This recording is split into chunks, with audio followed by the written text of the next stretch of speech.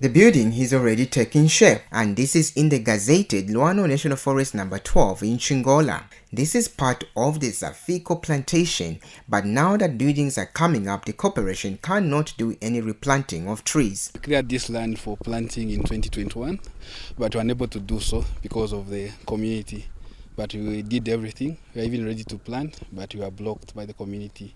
It's the only portion which has remained in this forest reserve, which is unplanted, and it's about 18 hectares. Hello. Minister of Green Economy and Environment Mike Mposha could not take this level of illegality anymore.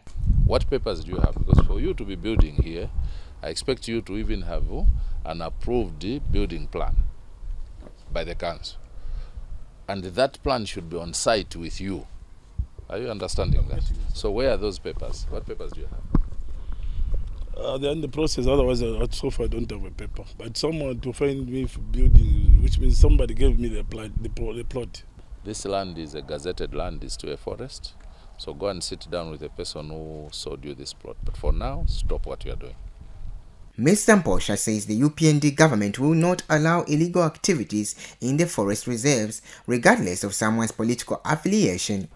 Those that will not will, continue coming here to build illegally, they have not applied to have this land degazetted and they have just come on the land and if they continue, the police must, must move in.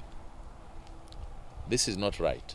As government, we want our people to be assisted, but we are not going to assist you as government through illegalities. The local authority seems to be aware of the encroachment in the forest reserve. Mr. Mposha has ended his tour of protected areas on the Copper Belt with a message of correcting the illegalities happening in the province. Teverai Dzeka, ZNBC News, Chingola.